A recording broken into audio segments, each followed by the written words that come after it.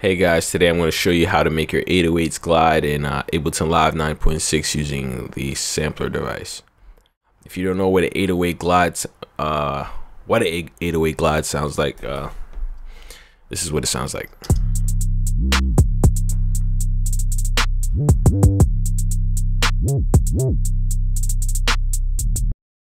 Let me play it again without the drums.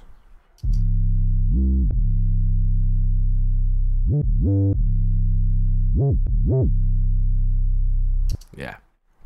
All right. To achieve this effect, um, first you want to grab an instrument rack. Next, you're going to grab your simpler tool.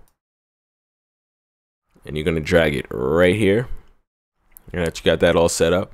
You're also going to go to audio effects and then you're going to grab a tuner. So we can tune our 808 and make sure it's at the C, the root, the key root of C. All right. Next, we navigate to our drums. Uh, find the 808 that you would like to use. I'm gonna choose this one. Okay, that's pretty much squared away.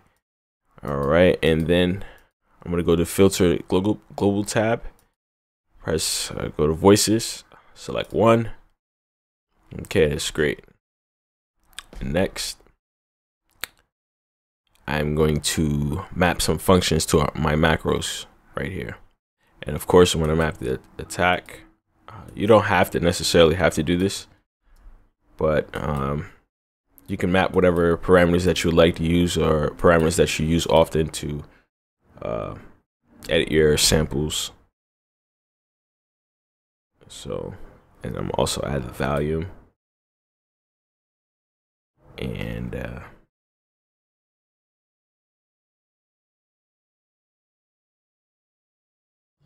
that's pretty much it. And then I'm gonna go to pitch, the pitch tab, and this is where the glide effect happens. But first I'm gonna add, I'm gonna map these two things here. I'm gonna map uh, the uh, transposition, transpose rather, to macro five. And then I'm gonna map my detune to macro six. And then I'm gonna map my, well, I'm actually just gonna turn glide on then I'm gonna map my glide time to macro seven. This is where all the magic happens. All right, great. Next, we're gonna we're gonna adjust our macros to the default. Uh, you could zero it out, and then we're gonna change our release to 50. And um, let me just hit the filter tab so I can see what's going on.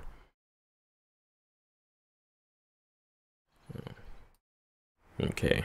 And we can adjust our attack. So you can adjust it to whatever you like. Uh, I could actually just leave it like this, but and keep going from there. And I'm gonna change my transpose transpose to zero, and then I'm gonna make my detune zero as well, and I'm gonna bring my glide time up to 50.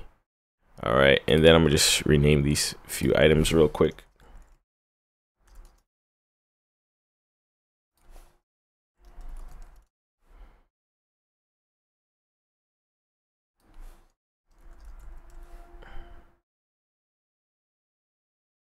All right.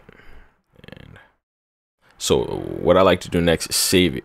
So when if you when you save this rack, you can use it for more than one 808 sample or you could just save it for individual samples, but I'll save it for the I'll save it so I can use it later. You just give it a name, 808 uh, glide device. All right. Mm. Now that we got that all squared away, now I'm going to tune my 808, make sure it's in key. Sorry, guys. I got a C sharp. So I'm to turn my transposition down just one. I got it in C. Next, I am going to tune it a little bit. Get it right there in the green. Got it as close as possible to the key of C. All right, and that's pretty much it. Next, we're going to go to our um, our uh, arrangement view here, and we're going to lay down some notes.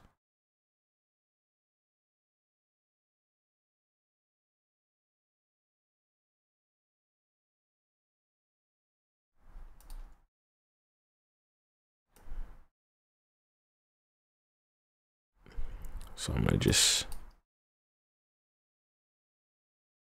I'm just gonna lay down some notes, program some uh, notes here. Hold on a second.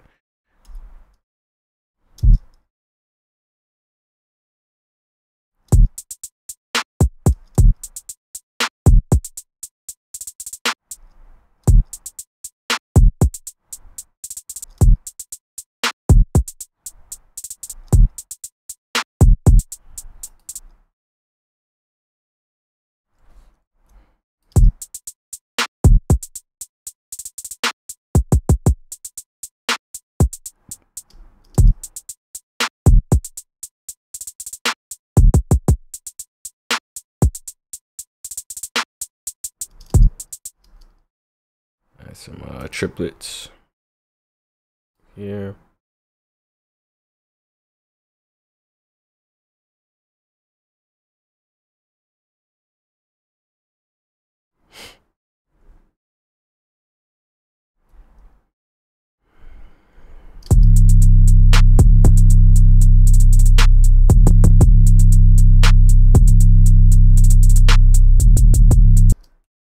Turn my triplet grid off. Let's see. Now I'm going to add some notes that are going to glide.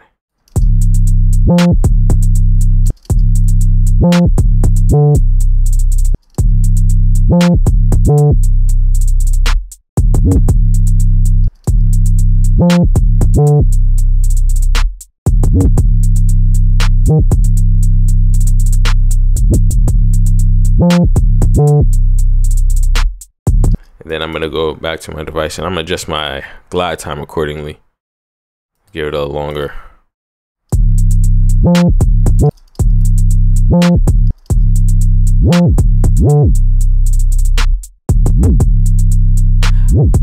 And that's basically how you get your 808s, how you make your 808s glide in Ableton Live using the sampler device. See, I like to keep my uh, glide time right around 118 because it sounds just about right. And that's pretty much it. If you do have any questions, uh, just leave a comment below. And if you like the video, just give it a thumbs up. And uh, that's pretty much it.